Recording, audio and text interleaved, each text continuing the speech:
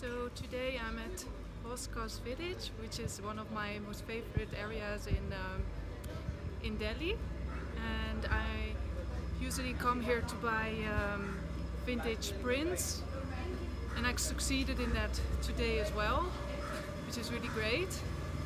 And again, I just wanted to show you around the neighborhood here.